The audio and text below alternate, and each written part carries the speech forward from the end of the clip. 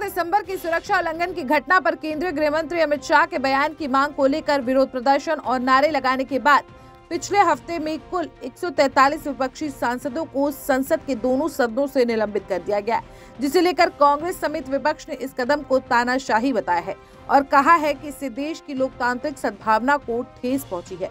संसद के अंदर सवाल पूछना सांसदों का अधिकार है। वहीं दिल्ली कांग्रेस प्रमुख अरविंदर सिंह लवली ने कहा कि विरोध प्रदर्शन के दौरान शहर के विभिन्न हिस्सों से बड़ी संख्या में लोग अलोकतांत्रिक कदम के खिलाफ आवाज़ उठाएँगे।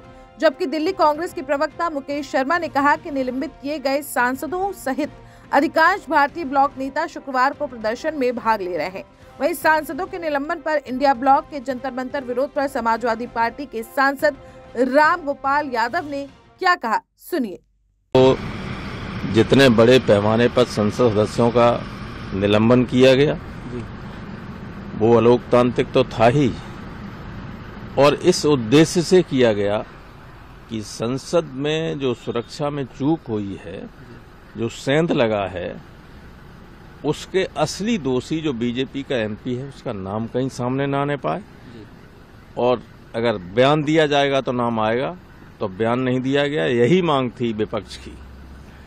और इस मांग जायज़ मांग को लेकर जब जब लोगों ने सवाल जिन जिन एमपी ने सवाल उठाया उन सबको एक एक करके निलंबित कर दिया गया और निलंबन के बाद जो बहुत महत्वपूर्ण बिल थे जिन्होंने पूरे सिस्टम को बदलने की कोशिश की है लोगों के नागरिकों के मौलिक अधिकारों को बहुत आसानी से छीनने का प्रयास किया है सीआरपीसी, आईपीसी और इंडियन एविडेंस एक्ट में संशोधन करके और आईटी एक्ट पास करके कि आपका फ़ोन है कोई है किसी को भी गवर्नमेंट किसी के भी फ़ोन को कभी भी टेप कर सकती है।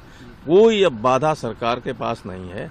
आपकी कोई निजता का जो सुप्रीम कोर्ट ने कहा था कि निजता का अधिकार मौलिक अधिकार है, उसको भी आसानी से छीनने का काम इन तीन दिन में हो गया कानून बना के। तो ये बहुत ही दुर्भाग्यपूर्ण है। हम कहाँ जा रहे हैं? देश की जनता ये जाने। ये बताने के लिए आज हम भी जा रहे हैं अभी। हर जगह विरोध है।